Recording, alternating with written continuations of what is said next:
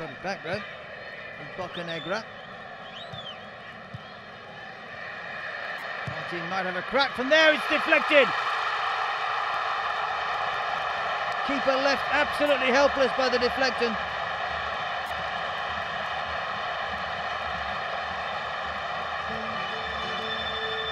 And with just five minutes gone, the home side are ahead and the home crowd are delighted.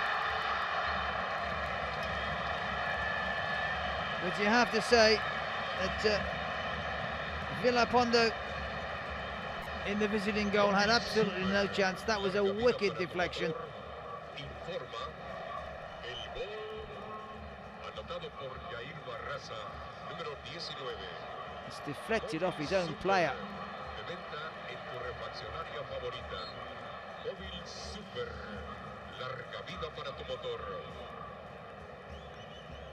Well, do you know what?